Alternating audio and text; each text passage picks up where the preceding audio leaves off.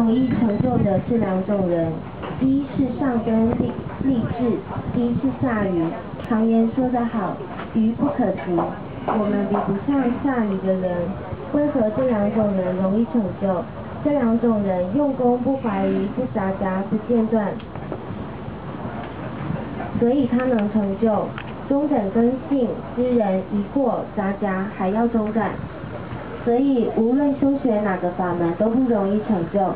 道理在此地，所以佛才教我们一门深入，长时熏修，这样可以减少疑惑夹杂，学的东西多了，看到佛在这个经上讲有，在那个经上讲空，到底是有还是空，你就会怀疑释迦牟尼佛连佛都不相信了，必须要知道。佛无有法可说，佛说法是为了破执者，此人执着有，佛就讲他空，破他有的执着；那个人执着空，佛就为他讲有，破他空的执着。正因为众生有妄想、分别、执着，佛才有法可说；若众生没有妄想、分别、执着，中口挂墙壁就没得说了。我们经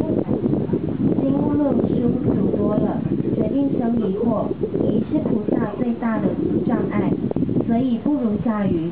不如那些老太婆，她什么都不想，什么都不知道，也不听经，一句佛号念到底，能站着往生，坐着往生，走的时候专向西有，这是我们比不上的。但是有疑惑一定要破除，否则就是障碍。受制之人一闻千悟，一接触就有通达明了，一点疑惑都没有，